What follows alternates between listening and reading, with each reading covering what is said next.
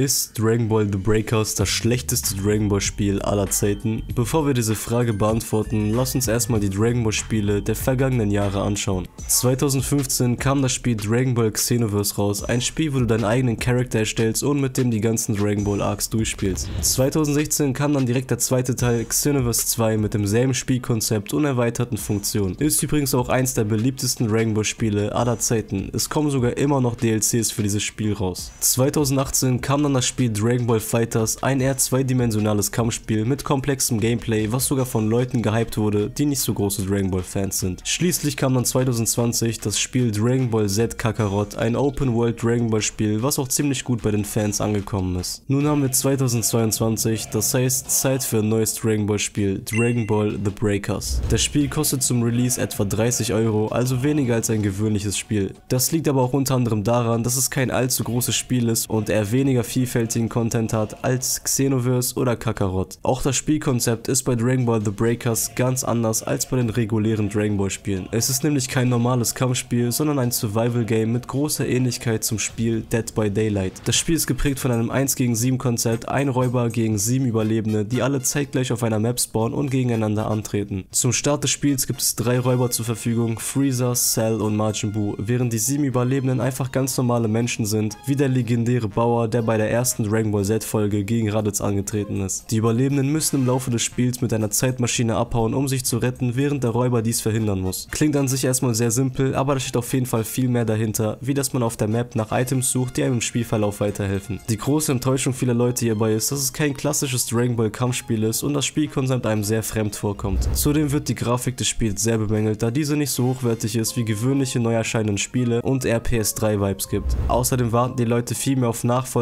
von von gehypten Titeln wie Dragon Ball Raging Blast oder Xenoverse. Ich persönlich kann die Kritik verstehen, jedoch bin ich der Meinung, dass es nicht schaden kann, etwas Abwechslung zu bekommen. Außerdem darf man nicht vergessen, dass es kein Vollpreisspiel ist, was zu Release 70 Euro kostet. So als kleine Überbrückung der Zeit, bis endlich irgendwie Dragon Ball Xenoverse 3 rauskommt oder so, ist das Spiel schon ganz in Ordnung. Auch wenn mir ein Standard Dragon Ball Spiel lieber gewesen wäre, finde ich das Spiel nicht schlecht und man kann trotzdem Spaß daran haben. Auch wenn ich nicht glaube, dass es lange überleben wird. Was ist eure Meinung zum Spiel? Würdet ihr sagen, dass es ein gutes Spiel ist oder folgt ihr der Meinung, dass es ein absoluter Flop ist. Und abonniert meinen Kanal für weiteren epischen Dragon Ball Content, es lohnt sich.